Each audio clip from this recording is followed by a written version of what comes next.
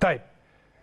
آم، الحقيقة إذا كان هناك من رأى هذا المشهد فيجب عليه إن هو يعمل شيء واحد فقط إن هو يصفق لما يحدث داخل النادي الأهلي. النادي الأهلي هو المبادئ هو الأخلاق هو القيم. النادي الأهلي هو أعظم حاجة في الدنيا. النادي الأهلي غني بأبنائه المحترمين. النادي الأهلي غني بجماهيره المحترمة التي دائما ما كانت تدعو وستظل تدعو للأستاذ العمري فاروق نائب رئيس النادي الأهلي. آم، اللي دا دايما بداية حلقاتنا خلال هذه الفترة مش هقول غير شيء واحد فقط وهي لا تنسوا الدعاء للأستاذ العمري فاروق. الحقيقة في الجمعية العمومية الأخيرة اللي كانت امبارح كان هناك جزء من هذه الجمعية من كلام الكابتن محمود الخطيب رئيس مجلس إدارة النادي الأهلي عن الأستاذ العمري فاروق. الحقيقة آه، طيب خلينا نطلع نشوف ماذا قال الكابتن محمود ونرجع نكمل مع حضراتكم مرة أخرى. الحقيقة إحنا النهارده في شخص عزيز علينا جدا أخونا العمري فاروق. العمري ربنا يشفيه إن شاء الله وينجيه ويعافيه بإذن الله. هو مش في وسطينا النهارده. لكن هو مكانه موجود. العمري الحقيقة تعرض ل يعني آه، شيء ألمنا ألمنا جميعا. إحنا عندنا ثقة كبيرة جدا جدا في الله سبحانه وتعالى من خلال دعواتنا جميعا ومن خلال دعوات حضراتكم اللي أنا الحقيقة بطلبها منكم. العمري محتاج الدعاء.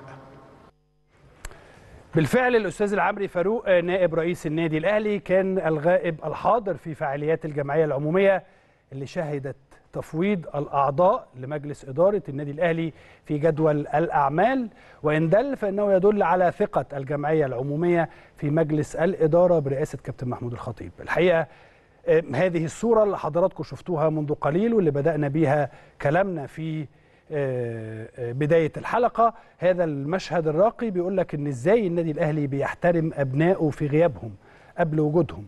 آه، أول سؤال بيتسأل في الجمعية العمومية هو كان عن صحة العمري فاروق ودعوات جميع الأعضاء والمحبين له بأن يتخطى هذه الأزمة الصحية. العمري فاروق كان دائما متواجد في الجمعيات العمومية للنادي الأهلي على مدار ال 25 سنة. إن شاء الله يكون متواجد في الجمعيات العمومية القادمة. وزي ما بقول لحضراتكم دايما وزي ما حضراتكم عارفين يجب أن يكون هناك أو مش يجب أرجو من حضراتكم أن لا تنسوا الدعاء للعمري فاروق نائب رئيس النادي الأهلي في صلواتكم. خلال الفترة اللي فاتت وخلال الفترة اللي جاية وزي ما بقول دايما في كل حلقة أن ما يغير الأقدار هو الدعاء. الدعاء فقط هو ما يغير الأقدار.